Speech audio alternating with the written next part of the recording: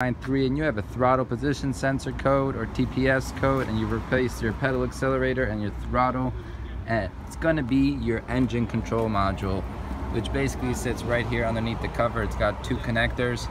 So I know that I spent lots of time researching it I replaced a throttle position sensor I've replaced a throttle body I've replaced the pedal position sensor accelerator position pedal sensor and what it ended up being was the computer. What you want to do is you want to send out your module to get rebuilt and if your module can't be rebuilt they will suggest to you your next step you'll have to buy a new virgin module that you can program into the car. Thanks for watching, like and subscribe.